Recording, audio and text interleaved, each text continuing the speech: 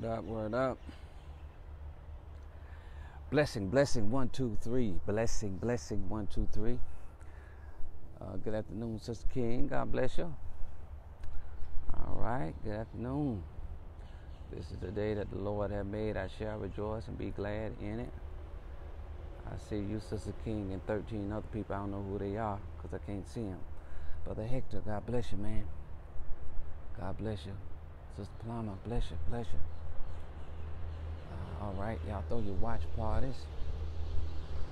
While we have our word party, throw your watch party, throw your watch party. Man must not live by bread alone, but by every word that proceedeth out of the mouth of God. Brother Sanat, good having fellowship with you yesterday, man. Facebook Live, LT. What else we got on here? Uh, okay, Giovanna, God bless you. All the way from Michigan. Amen. Sister Watson, good afternoon. Hey, if you're in the, in the spirit to throw a watch party, go ahead and do that right now. I want to try to cover some territory and bless some people. Uh, hither and thither. Favorite member, Erica D. Erica Allen. Got two Ericas this morning. Amen. Blessing, blessing. Thank you for coming in. Come on in, come on in. I would say have a seat, but you can stand up for this one. Amen. Gorgeousness. All right. And y'all do me a favor while y'all getting on, inviting your friends, etc., etc. Um, y'all let us know where you're from. Where you're from? Hey, I'm from, I'm from Sunrise. I'm from Fort Lauderdale. I'm from Michigan. I'm from uh, Arkansas. From the Show Me State. You got to show me. Sister Coffee, God bless you, Sister Lewis. All right, Sister Royster, God bless you. Tammy. Conyers in the house. All right, Sandra Brown, God bless you. Shanari. Beatrice in the building. All right. Who else we got? Who else we got? Who else we got? Uh, okay. Yeah, I know. Hey, when you're gifted, when you're gifted, Brother Rivera, your gift make room for you. You don't know what God gonna gonna put you in and where you gonna end up at, man. Cause it's His gift and not yours. You know what I mean? Natalie Paul, God bless you. Sister Sonnet, bless you, bless you. Jennifer Bryant, all the way up there in uh, Tallahassee, I think. Yeah, Tallahassee, in the building. Scott Walker, Indiana. God bless you. Van Gray, my man. Good to see you, brother Gray. Sarah, Columbia, Columbus. I always get them mixed up, mixed it up, and mixed up. Sister Williams, all the way from Valdosta, Georgia. That's my second home right there. Sister Gadsden, my favorite member right there. North Kakalaki in the house. All right. Chanel Nicole, the writer. You show right. Cindy Colebrook in the house. Keisha Goldwire in the house. Somebody give me some ant spray. They're attacking me. Devil getting busy through these red ants. They trying to, they trying to bite me. All right. God bless you. All right, blessing, blessing, one, two, three, blessing, blessing, one, two, three. Uh, this is word up, word up, word up, Monday, word up. We try to give a word every day of the week Monday, Tuesday, Wednesday, Thursday, Friday. Man must not live by bread alone, but by every word that proceedeth out of the mouth of God. This is our effort to put forth a word of edification and encouragement uh, to keep you moving, to keep you flowing throughout the week as you climb your mountains and climb your hills uh, throughout life so that you can, Sister Colebrook, press forward by faith. Amen. Amen. And so we're going to open up with a word of prayer. And we're going to talk to the Father, then we're going to talk to you for just a minute. Father God, it's in the name of Jesus. We now bow our heads and humble our hearts and we prostrate our spirits before you, Father God. We declare, decree that you are God and God alone. God all by yourself. Don't need our help. We just thank you, Father God. We searched all over. Couldn't find nobody, nobody greater, nobody greater than you. And so, Father God, with that, we magnify your name, we glorify your name. We ask, Father God, that you'll bless us even now as we spend this precious moment together for a word of devotion, a word of prayer. We ask, Lord God, that you might bless us with inspiration and aspiration that we might uh, become and desire to be all that you called us to be. We just thank you, Father God. Use me now as an instrument as I yield myself to you, Father God. Have your way and get yourself some glory. This is my prayer. This is my plea. This is my petition. In Jesus' name I pray. Amen and amen and amen. Word up, word up. So our word coming to us out of Genesis chapter number 26. One verse, one verse, one verse. It's going to be verse number 12. I think I committed it to memory. It says, Isaac sold in that land. And the same year, he reaped a hundredfold, uh, and the Lord blessed him. He sowed in that land. In the same year, he reaped a hundredfold, and the Lord blessed him. I try to come up with a little tag in the title. I'm just going to call this So. S O W. S O W. Sow the text indicates that you know, Isaac is doing something in this passage that's just counterintuitive. You know what I mean? Uh, it, it, it, don't even make sense. It's uh, paradoxical. If you saw him doing it, you'll say something wrong with that dude right there. Some, something wrong with that man right there. And so to appreciate what Isaac is doing, because it's kind of natural for us to sow whatsoever a man sows, that shall he also reap. And sowing and reaping is a natural law that becomes a spiritual law with God. And uh, it, it's like the natural course of things, the natural, if you put something in, you're going to get something out. Uh, whatever action you put forth, there's going to be a reaction. You know, some people call it karma, but if you stick to the word of God, it, it's just sowing and reaping. And so that's the natural process. But why is it counterintuitive for Isaac uh, to be sowing in that land? And why is it unusual for God to bless him a hundredfold, to give him a hundred times more than what he sowed? And why does the Bible say the Lord blessed him? Well, the backdrop is there's a there's a famine in the land. If you get grab uh, Genesis chapter 26 and begin like at verse number one at the top of the text, you'll find out that that Isaac is the second generation that found himself in, in the land of Canaan and it don't necessarily belong to Abraham and his descendants just yet. That's that's gonna happen a little bit later when Joshua come back and lead the people back into it. But for now, they're kind of staking the territory. They're marking the territory. Abraham, Isaac, and Jacob. And so so so now Isaac becomes uh, the prominent figure for the family of God. His daddy is now older, much older. You know, he had Isaac when he was about a hundred and so Isaac is now a grown man. He's taken over the family business, if you will. But there's a famine in the land. Not just a famine, but there's a severe famine. And I know y'all can't appreciate that, so let me help you with it. Uh, it it's like back in these days, you either were a pastor, you had sheep and goats and cattle and cows, or, or either you were a farmer. It was an agrarian society. You know, they didn't have businesses like we have. You know, either you was a farmer or you had sheep and goats and stuff like that. So, so, so Isaac is this type of farmer as well as a pastor. So there's a famine, which means ain't no rain, ain't no rain, ain't no rain, ain't no rain, no rain. Um, the grass don't grow, and if the grass don't grow, the cattle can't eat, and, and it's like it's like a ricochet kind of situation. One thing impacts another. One thing affects another. If this ain't working, that ain't gonna work either. It's like if one train stop, all the trains got to stop. And, and it's kind of like a situation that we have like right now. So, so the Bible says that Isaac is in a community of Philistines. The Philistines know that man, we in a man, it's rough, man. Man, the struggle is real. The Philistines know that. It don't even make sense to even plant nothing right now because ain't no rain. How you gonna plant a seed? Ain't no rain. Because if you plant a seed, you need the rain to water the seed, and then the seed can blossom and bloom and grow and yield some fruit. But but Isaac out there, you know, he in these fields, he digging these holes and he's putting the seed in the ground and and people kind of like watching him saying, man, what's What's wrong with him? What's wrong with him? Uh, what is he smoking? Is he is he drinking something? Man, it ain't rained around here about a year. The ground is dry.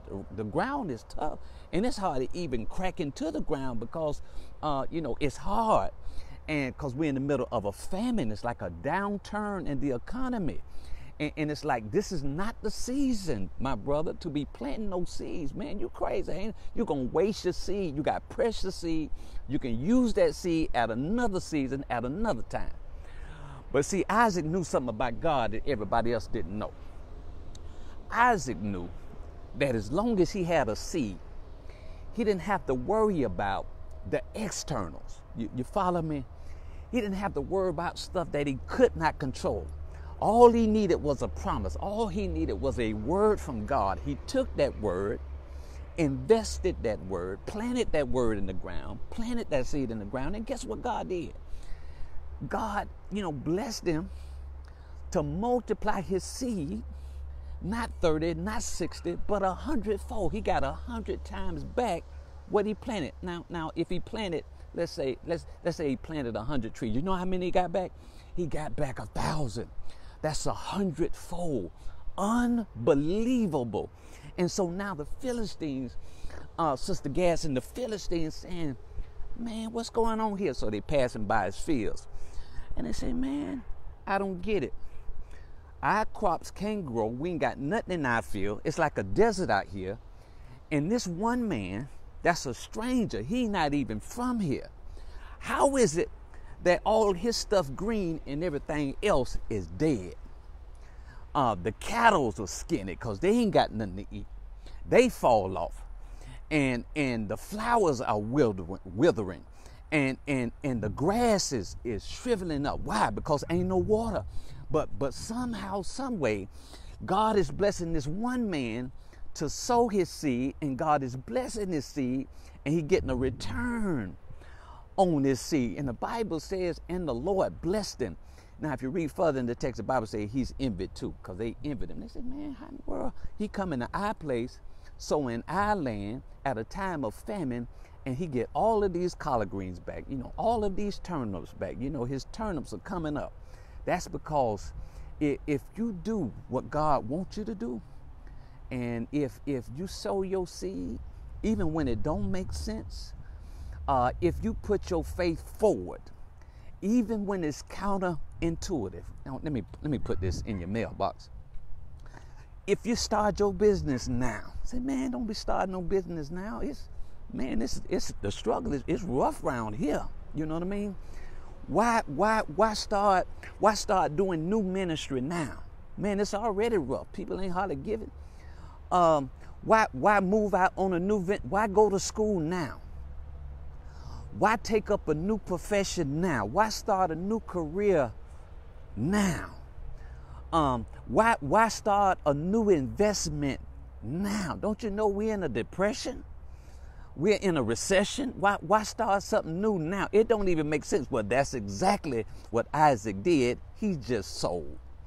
Well, ain't no rain, so uh, the economy, you know, falling apart. So with people advising you that this is not the thing that you want to do right now. So, well, it don't make sense to the experts. So, well, the people ain't gonna support you in what you're doing. So, why you start a new business right now? Won't you won't you wait till the economy turn around? So, um, well, well, well, well, well, the people ain't gonna buy the stuff from you. So, and and people ain't gonna um, network with you. They're not gonna they're not gonna open the door for you right now. So, see see God's success for you is not predicated on what people understand. See, a giraffe can't be taken all day and all night trying to explain stuff to turtles who, who don't have vision, who can't see beyond where they are. See, when, when you sow, what you're saying is, I'm going to give God some time. I'm just going to wait till my change come. But I know that my change is going to come. And when you give it to God and when you trust God with it, Leave the, the micro details and the micromanaging of God. You ain't gonna be able to micromanage God. All you got to do is so. And if they say it don't make no sense, say so. If they say we ain't gonna help, you say so. If they say we ain't gonna support, you, say so. If they say it, and it don't make sense and, and the doors are not gonna open for you, you say so. And, and, if people envy you, you say so. If they don't like you, you say so. If your enemies become even more of an enemy, you say so. Just do what God has called you to do. And even though it don't make sense, right in the middle of a famine, you just go ahead and do what God has called you to do. Celebrate life now. Don't wait till the corona leave. Throw your praise party now. Well, what y'all, what's all that excitement about? Uh, we just sowing because we know our change is to come and we know that God is going to bring us through. And we know that God going to give us uh, better days. And I can hear Le'Andria Johnson singing that song right now. Better days are coming so don't wait till the tide change. Don't wait for the season to change for you to do what God has called you to do. When you got faith, it don't matter what's going on around you. It doesn't matter what your neighbors are doing. It doesn't matter what your best friends are doing. It don't matter who in a new relationship and who ain't in a new relationship. All you need to do is prepare yourself for what is to come. And if God be for you, who can be against you? Brothers and sisters, ladies and gentlemen, I hope just pray that this word have been a blessing to your life. And when they look at you sideways, look at you cockeyed, and look at you crazy, you just say, so.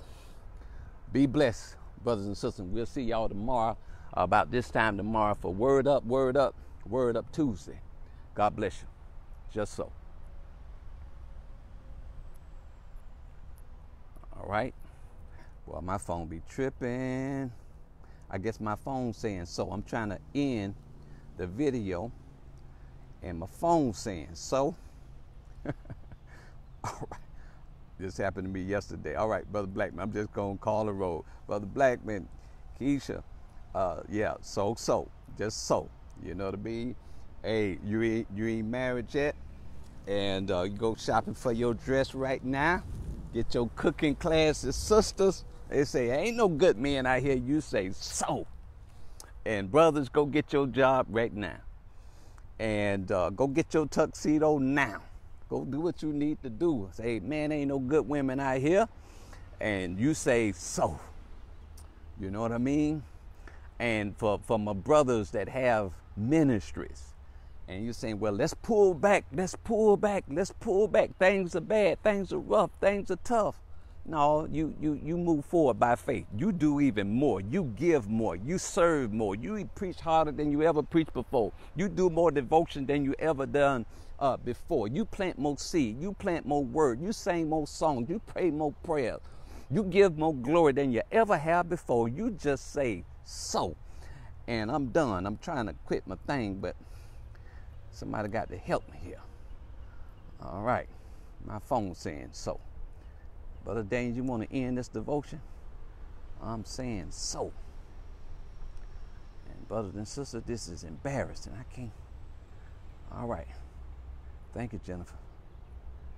Thank you, Craig. Appreciate that, man. Glory to God, glory to God, glory to God. Let's advance the church. Let's advance the kingdom of God. Let's let's write our new books. Uh-huh. Sister uh, Chanel, let's write our new books. Let's start our new our new ventures. Cindy Colebrook, let's start the stuff that we started three years ago. And we're going to just say so.